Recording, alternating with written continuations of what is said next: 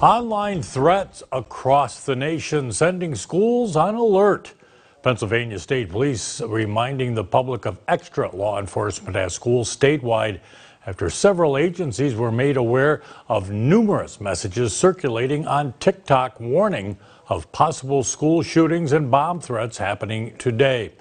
Well, the messages warn of the existence of these threats, but they do not contain any specific details as of schools, people, or locations.